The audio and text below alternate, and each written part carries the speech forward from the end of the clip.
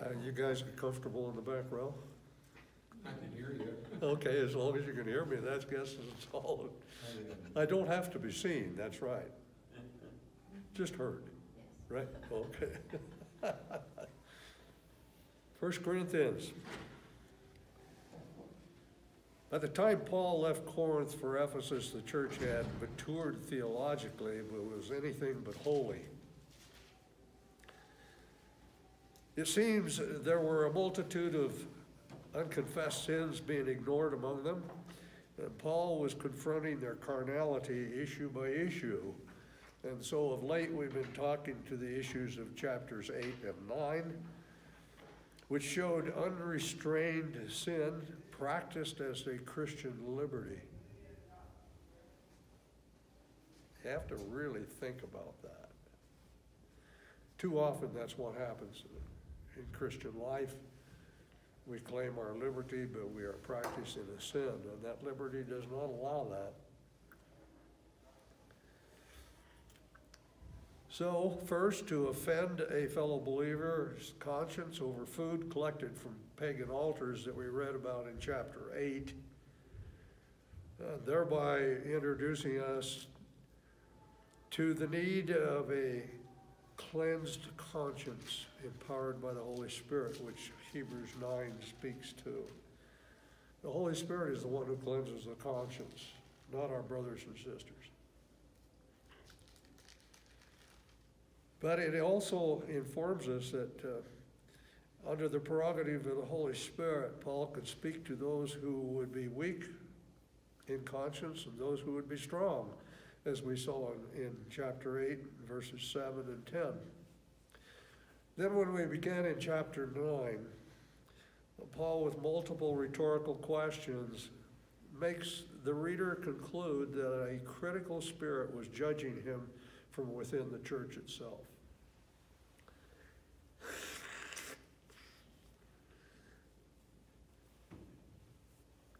It is evident that God had prepared him for the slander to be waged against his character. How else would he have known not to take a wage for services rendered? And I just ask you that because I think it's provoked by the study.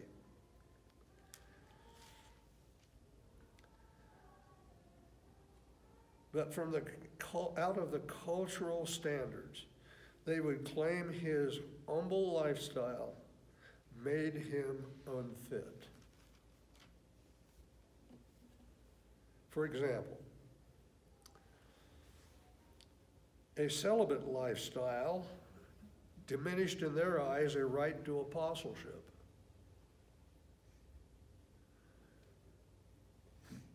Manual labor as a tent maker affronted Jewish legalism, made him also look like a low caste servant among Romans. When presenting the gospel and God's truth, he was accused by the Greeks of, in his own words, being unskilled of speech. We read that in the Second Corinthians.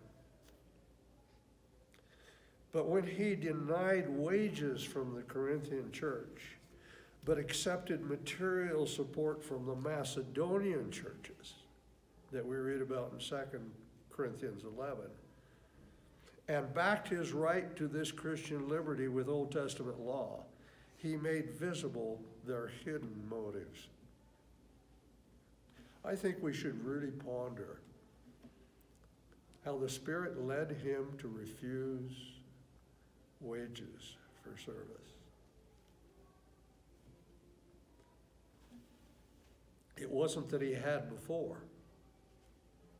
That was not an issue apparently in the other churches. But God knew what the heart of these people was. He And so I'll put it this way He probably struggled with that because he was living a rather meagerly lifestyle and he, probably a temptation to him, but he still refused. he, uh, he obviously refused it. He knew that if he accepted wages for ministry from the Corinthians, they could use it as a limit to his Christian liberty by making him a hireling. He made it plain in the last week's lesson from verses 12 to 18 of chapter 9 that his desire as Christ's bondservant was to never be encumbered by any mercenary thought when selling spiritual truth. Now, why do I use that word selling? If you look at verse 18, which reads this way What then is my reward that when I preach the gospel, I may offer the gospel without charge so as not to make full use of my right in the gospel? Paul was giving it to all humanity, the gospel message to all humanity, which at that point was the locus of 1 Corinthians in the city of Corinth. And he made it as an offer.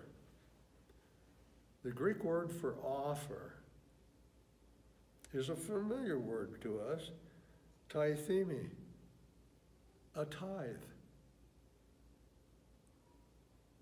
As it were, a tithe without charge, he says. I sold it as a tithe without charge. You ever think about that? Becoming a fellow partaker of it, he says in verse 23. That made me a fellow partaker in that which I was selling.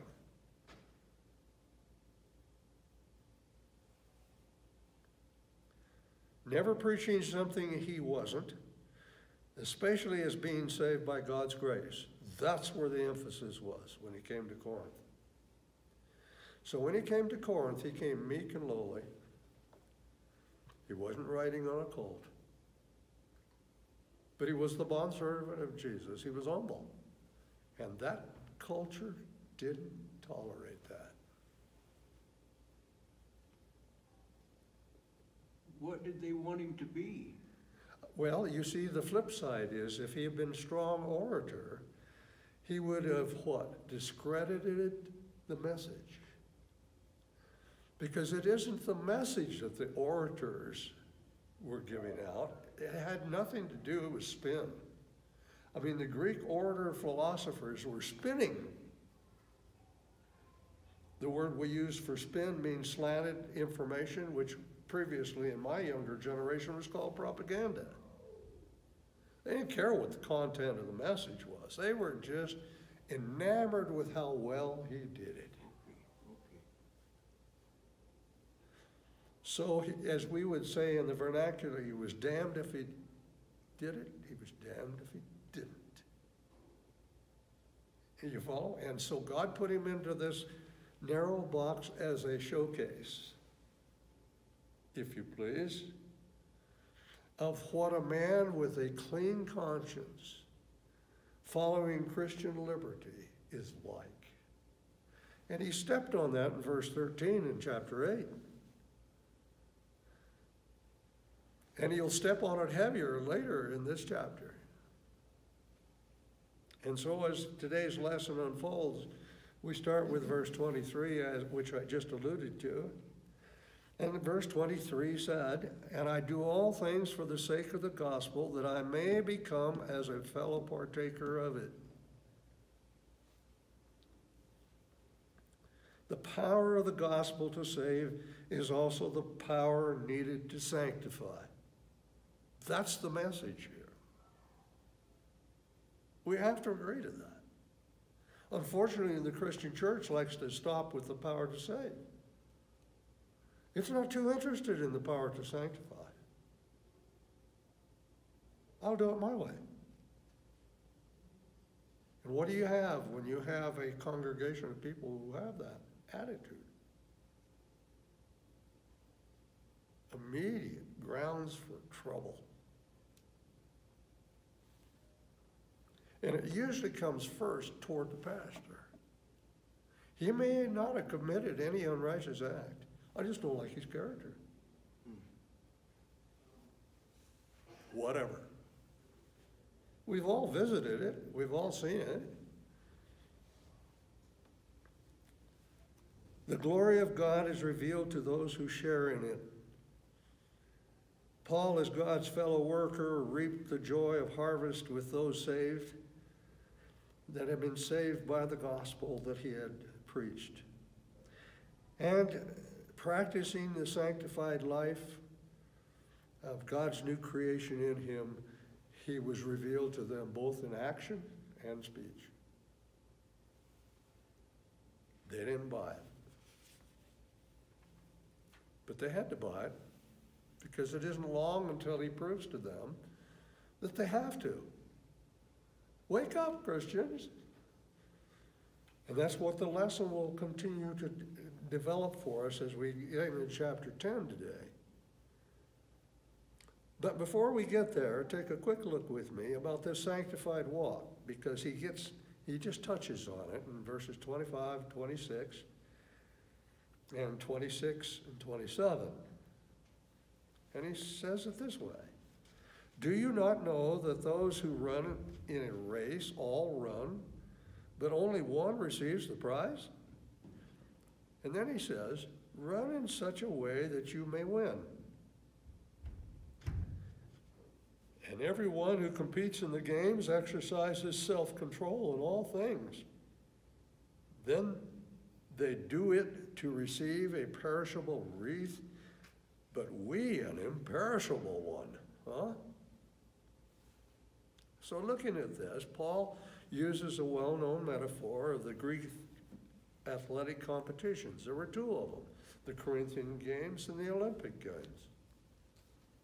They were well familiar with it. That was their blood sport, if you want to call it that. That was their football game. It was track and field. It was running primarily. And the Greeks were good at it.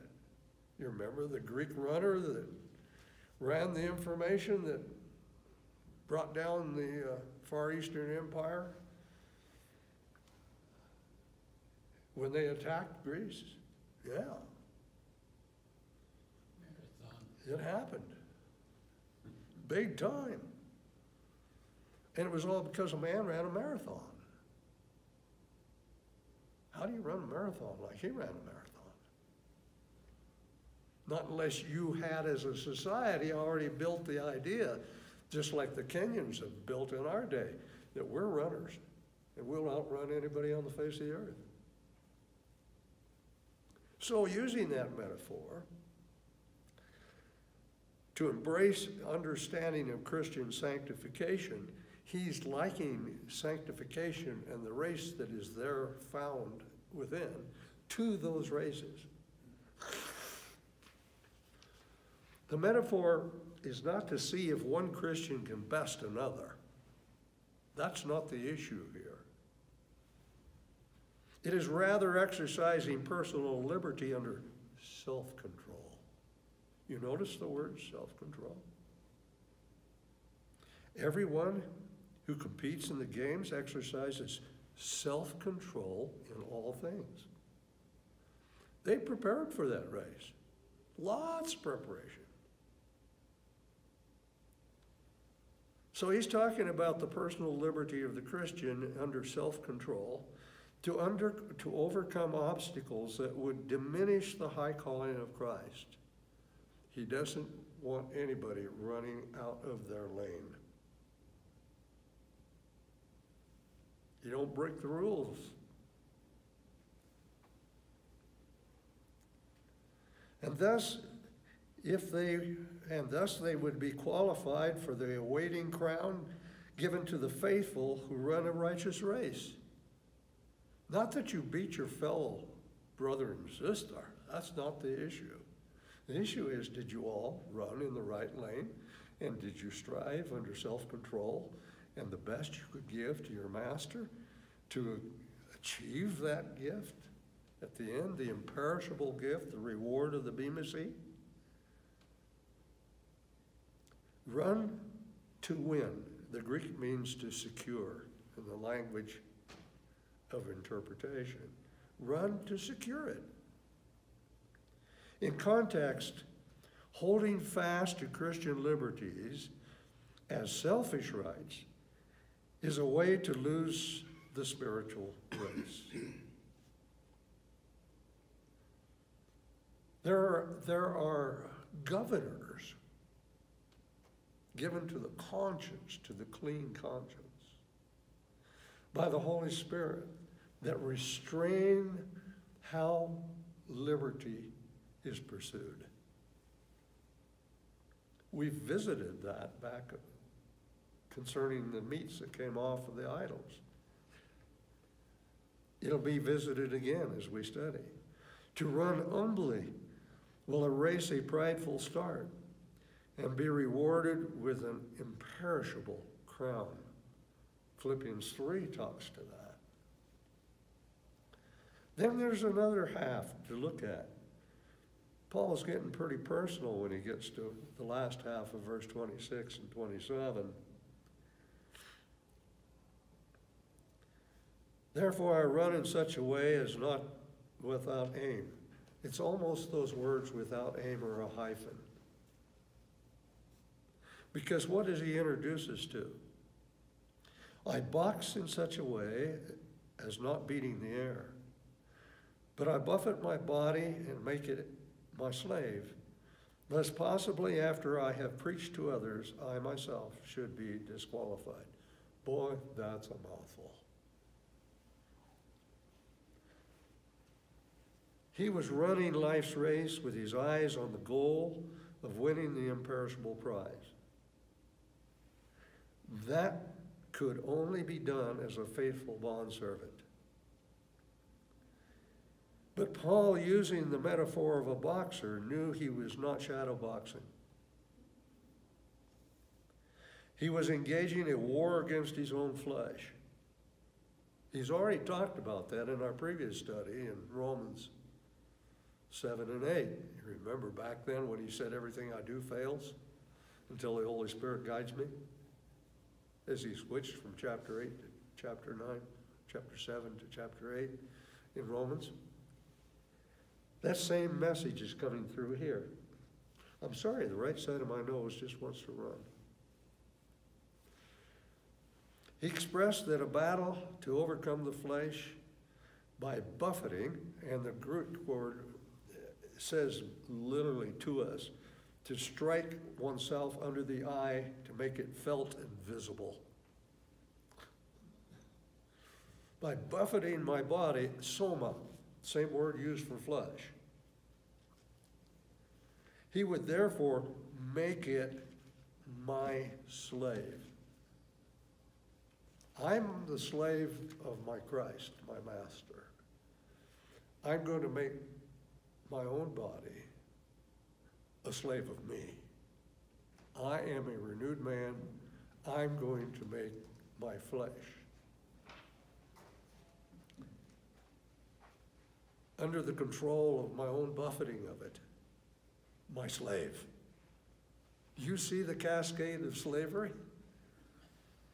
I think those are marvelous verses. Interesting to see how he finishes the last two chapters. But he isn't finished. He's going to give us more here in just a, a minute. Thus, he's avoiding hypocrisy when preaching to others. And others here is of the same kind, speaking of Christian brothers and sisters. Should he not box diligently? Fleshly sin might disqualify his message. He was well aware of that. And since the weapons of his warfare are not carnal, Paul called on the Holy Spirit as chief strategist in this battle not only in his race, but also in his buffeting of his own flesh. And it makes me think of Romans 8 and, and these words from verse 12 to 14. so then, brethren, we are under obligation not to the flesh to live according to the flesh. For if you are living according to the flesh, you must die. But if by the Spirit you are putting to death the deeds of the body, you will live. For all who are being led by the Spirit of God, these are the sons of God. Interpreted, in my thinking, that imputed righteousness, which we call sanctified living, when it is, uh, when it is practiced by the power of the Spirit, was indeed his desire and his desire for us.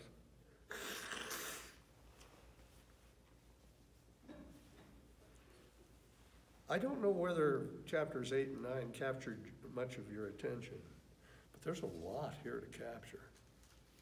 Seems pretty straightforward to read it, but it doesn't give you the depth of what's really going on. Unless you understand some of the Greek, unless you understand some of the context, unless you really look at words like tithemi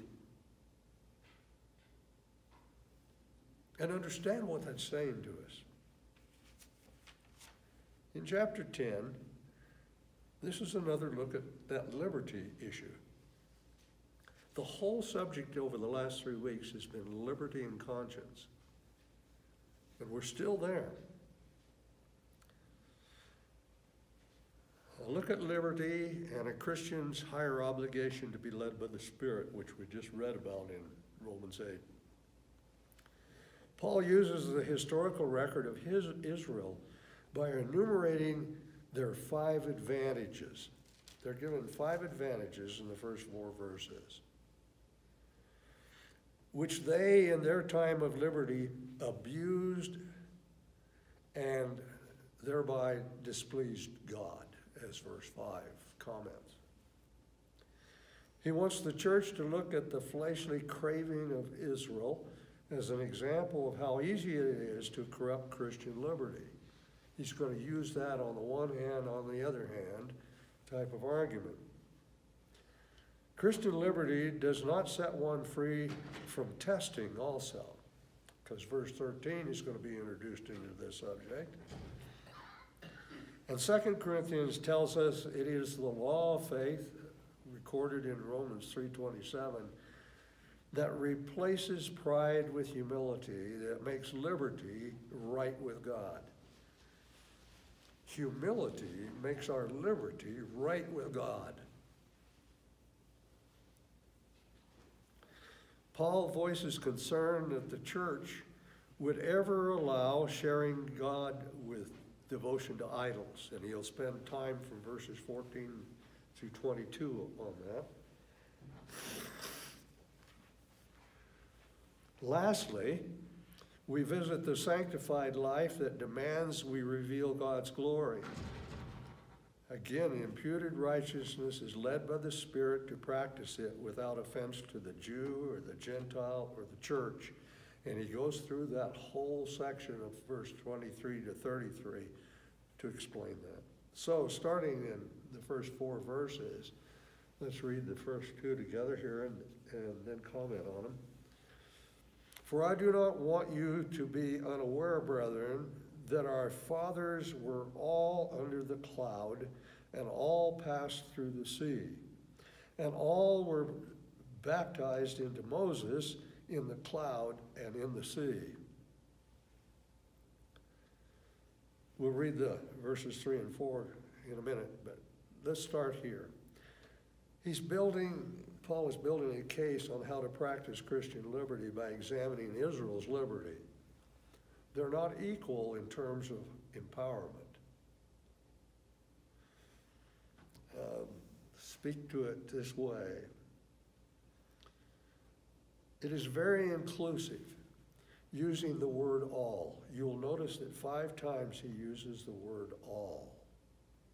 It's very inclusive to all the people Israel was blessed with God's grace, being released from Egyptian bondage to the slavery of their physical being.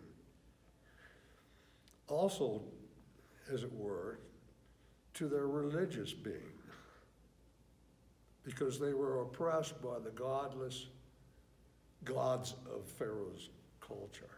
So they're being released both physically and spiritually, some degree. And they experienced the Red Sea baptism. They were nourished by manna. And they had a plenteous water supply. from the rock. All of it was a physical redemption at first glance. Now, the church's liberty is obtained with a redemption from sin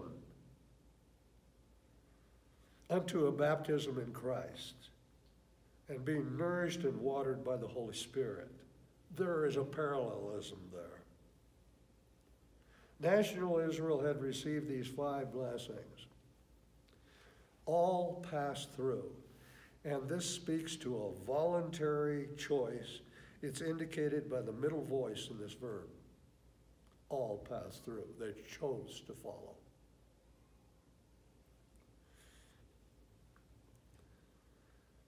And they were protected by the cloud. They passed through the sea and protected by the cloud.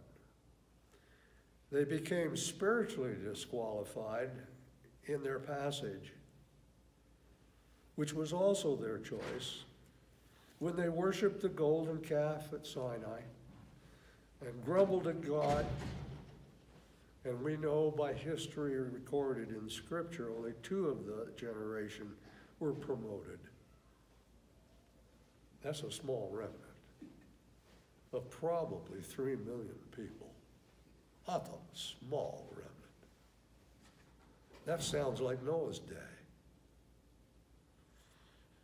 Their personal sinful character was made evident by a faithless choice, a choice to not obey God that was given to them through Moses' teaching. So it speaks to they were baptized into Moses through the cloud and the sea. That was their standard of leadership. That was their teaching from God Himself through Moses. Flawed? Yeah, Moses was flawed. We know that. He didn't get into the land either. But God spoke to them through Moses, and Moses led them appropriate to God's calling. But how much liberty did they have when they left Egypt? They had some liberty of choice to follow. They found that liberty pretty shallow when it didn't meet their standards. Right?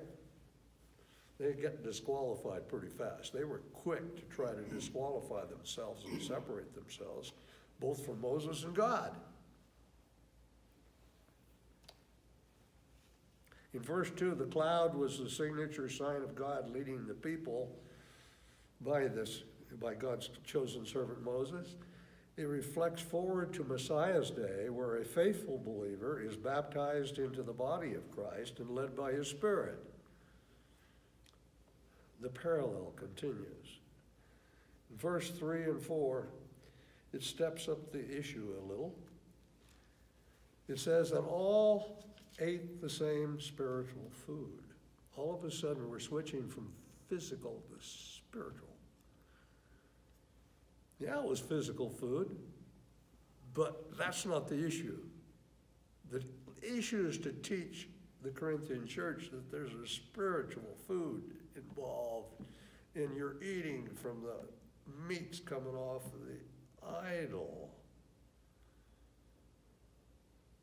Your conscience is dealing with that on unequal basis, and you're offending one another.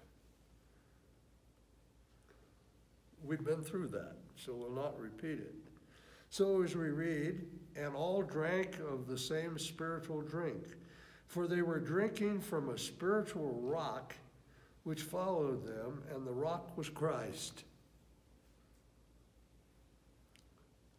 You see how it switched? We get caught up in the physical redemption only to find out that you can't leave it there because the liberty gets into the spiritual definitions of immorality. And so we're now speaking to the spiritual as we look at these two verses. It is the spiritual atmosphere that was provided by manna from heaven and water from a rock that fed and nourished more than just the physical body. it in some ways is likened unto what we uh, speak to when we talk about the universal call of Romans 1 and the calling of the communion table. It's all in that same category that we look at this. The source is Christ. Here, God's intent was to awaken individual hearts to Christ, being the bread of life and the living water, manna and the water from the rock. Indeed, by spiritualizing the rock as the Messiah, because it speaks to that, that issue, we see him struck. Christ struck. The rock struck. Christ the rock struck. For their sakes in the time of their affliction. And you can read about it back in Deuteronomy 8. It is far from a magical protection.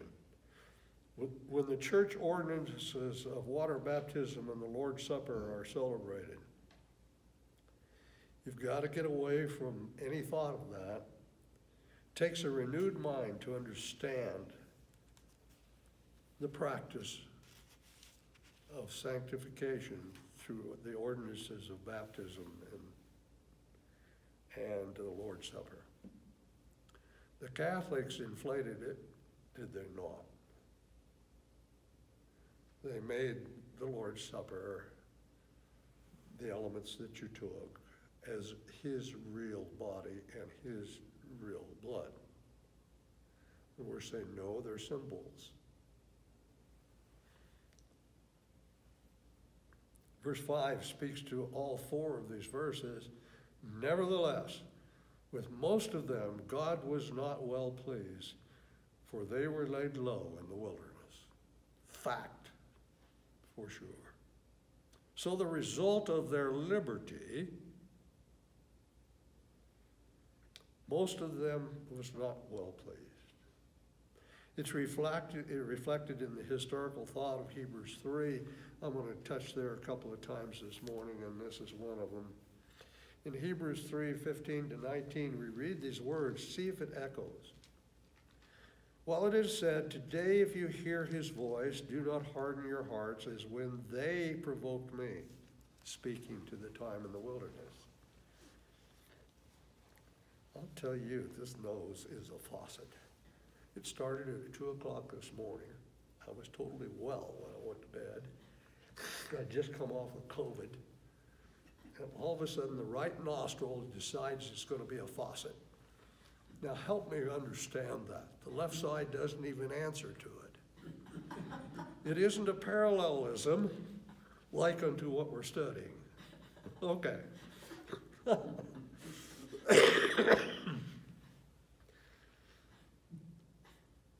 now, where was I? Shame on me. Hebrews 3 15. For who provoked him, that's God, when they had heard? Indeed, did not all those who came out of Egypt led by Moses? And with whom was he angry for 40 years? Was it not those who sinned, whose bodies fell in the wilderness? And to whom did he swear that they should not enter his rest, but to those who were disobedient? And so we see that they were not able to enter because of unbelief. Pretty well said. They provoked his love and received his wrath. Psalms 95 put it this way For 40 years I loathed that generation and said, They are a people who err in their heart, and they do not know my ways. Now, I excuse them because I understand, and I do this because I'm human. They didn't have the Holy Spirit to lead them.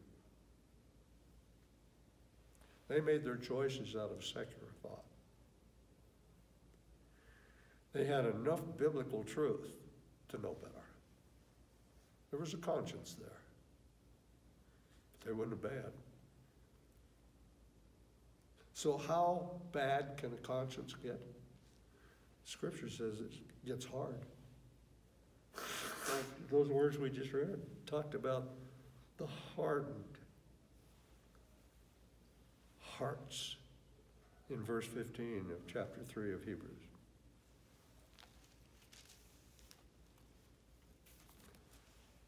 Verse 6. No, I'm not quite there. Just before I get to verse 6. Their, free, their freedom was not appreciated by themselves. Do we appreciate our freedom? Absolutely do not. My circumstances are so bad, why isn't God good to me all the time? You hear that message everywhere you go. They wanted freedom from trials, and they despised their circumstances. That's the only summary I can make and think that it speaks to the truth that I'm reading. So they rebelled against their Redeemer and chose unprofitable, sinful lifestyles. Being disqualified, their corpses were strewn in the wilderness. Verse 6.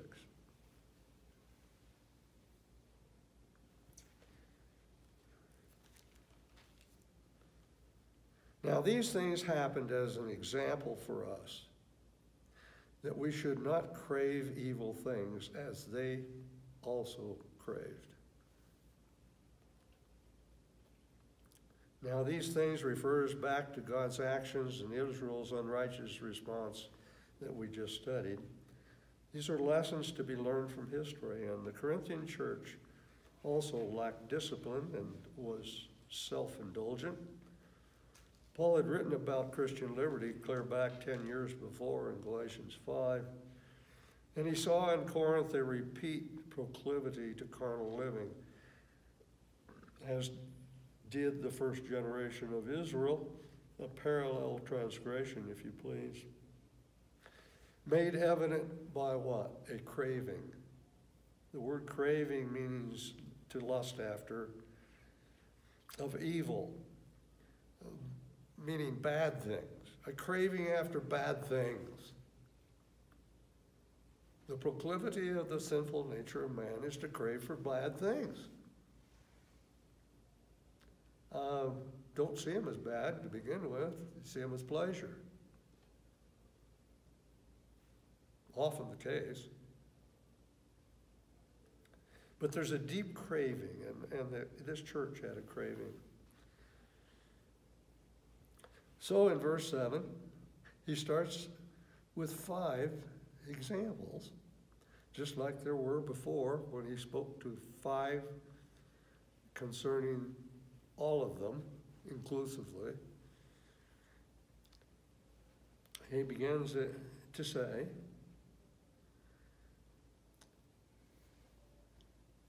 And do not be idolaters, as some of them were as it is written, the people sat down to eat and drink and stood up to play, and it's quoting from Exodus 32. So, idolatry, was it in the Corinthian church? Or had they all been called out from it and forgotten it? Or did they bring it in a little bit synchristically? I suspect we have to say the latter. It was more than just eating meat obtained from pagan sacrifice. What was promoted and morphed, as we saw, will see historically if you study church history, into worship of icons, angels, even Mariology, and other selected church saints. It blossomed. Uh, was the only was Corinth the only church that this happened in? No. But to the issue of the study, it is Corinth here. So the Corinthian church had been called out from idolatrous religion. MacArthur said, any concept of God that is not biblical is false, and if believed and followed, it becomes an idol. What's the idolatry of our society?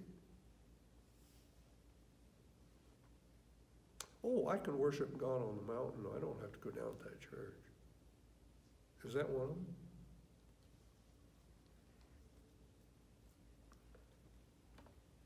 You can just talk about a multitude of things. Uh, football on Sunday can become an idol.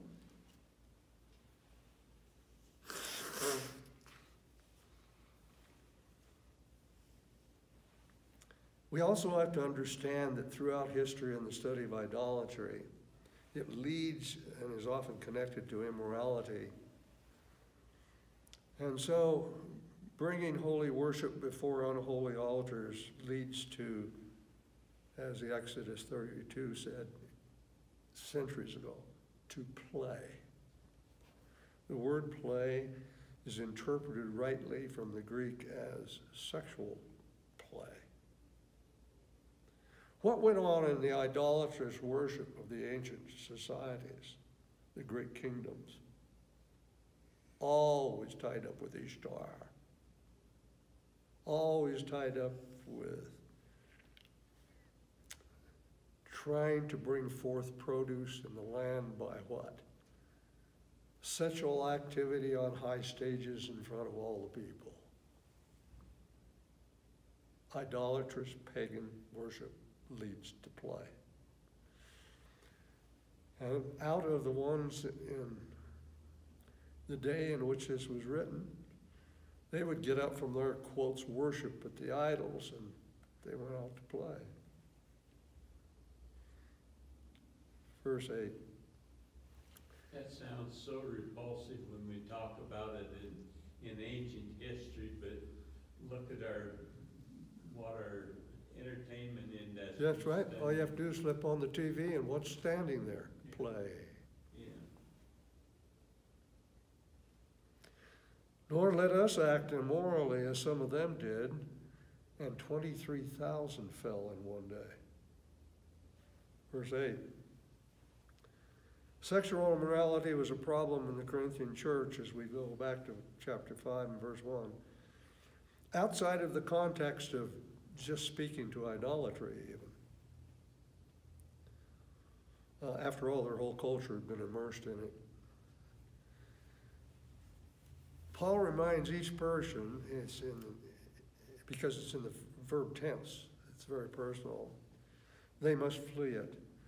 The stark remain, reminder is that God's judgment of Israelites that cohabited with the daughters of Moab. You remember the daughters of Moab? Where were the Israelites at that point? Poised to enter the land of Canaan. How did they get to Moab? Now, do you understand? You call it Moab. But the word, I think, is more linguistically right, Moab. They had to go up and over and down to get to Israel. They couldn't go straight through. They'd been cut off, had they not? But in their buffeting against this land in their travels, they were led into immorality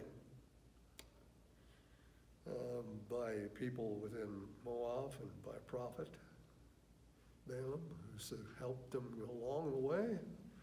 Uh, and what happened? Well, there were enough of them involved that God took care of a lot of those people, did He not? Thousands died before they had the chance to step over the river. It's a stark reminder from Numbers 25, 24, of what they did prior to their entry to Canaan. So you see their walk, even in the second generation, was beginning to live out the first generation. God had spared the second generation to be able to enter into the, the rest he had promised. But even before he got there, before they got there, there was a bunch of them that had to be cut off. That doesn't mean all of them were cut off, but a great number of them were.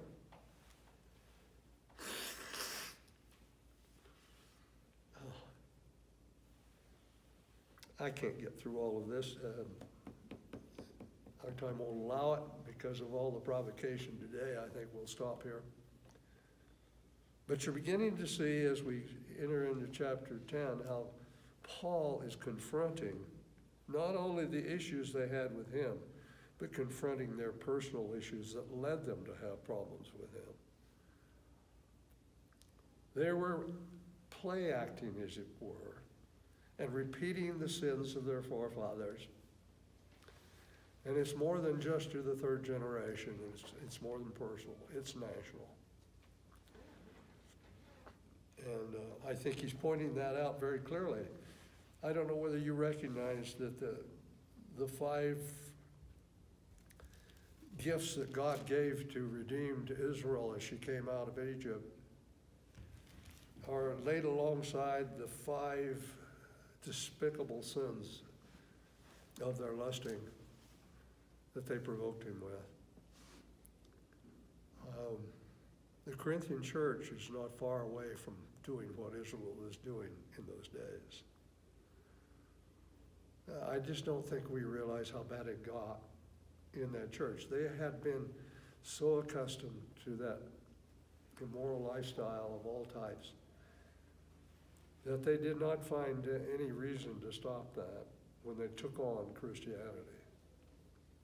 And unfortunately, I feel that too often our churches are full of people who are satisfied with the gospel message. They may or may not be saved. I don't know. Some are just professors. I can't tell who. God says He alone knows the heart. But when they begin to practice the immoral sins within the church body, something's really wrong. We don't have a, a strong apostle standing up and saying, boom, boom, boom, boom, on my authority, you're, you're sinning. We have those who are of the smaller A, apostle, our preachers and so on, our leaders, who should be pointing out to individuals one by one if they are stepping over the line, so that the things that happened to the Corinthian church don't become our end too. We know many churches this has happened. We didn't just look up the road over the last five years. We don't have to go very far. Let's stand for a closing word of prayer. Lord, it is uh, a delight to read your word and see how it profits itself and it builds on itself and it explains to us, oh Lord, the proclivity of the sin nature of man as opposed to the new creation that you gave him, and how to separate oneself from those things of the past, to buffet the flesh, as Paul would liken it, to strike himself under the eye so that everybody knows that he's confessing of his own son. Father, it be uh, wise unto us this day to call upon you to uh, give us conviction through the Spirit for those things which are sins that have not been confessed. And to stand on the law of faith that you are faithful to forgive them. Uh, but we, O oh Lord, have to be contrite in our heart enough to know that if we ask for these things, we should never go back to them. And that you have given us power to do that. Those poor people in Israel coming out of the land hadn't risen to the occasion to understand that. Father, we're so thankful for the leading of the Holy Spirit to give us imputed righteousness and then practiced righteousness, that we may run a race that when we hit the Bema seat in the future, we shall be indeed in glorious mode and mood to face you face to face Oh, Lord, we love you. Pray that you will come soon. We pray your protection over the, elect and uh, in the battlegrounds of both Arab and Israeli this day. For we pray it in Jesus' name.